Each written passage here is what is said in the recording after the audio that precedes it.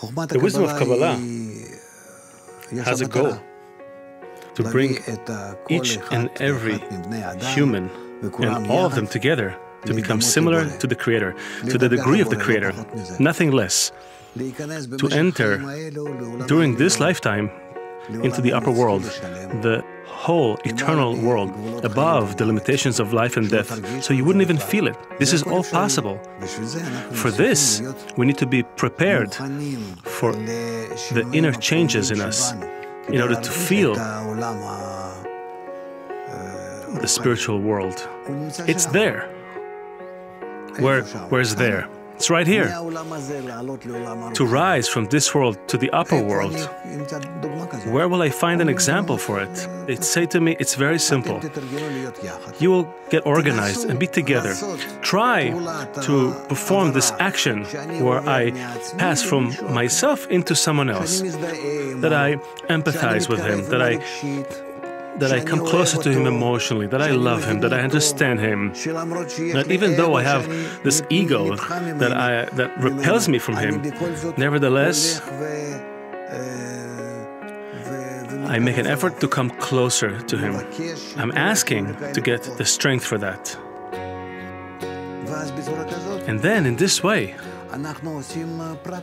we create the practicum a Kabbalistic practice.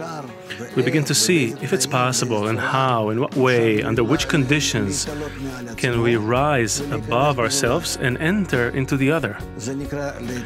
This, this is called rising above this world and entering the upper world, the spiritual world, to pass from myself into godliness.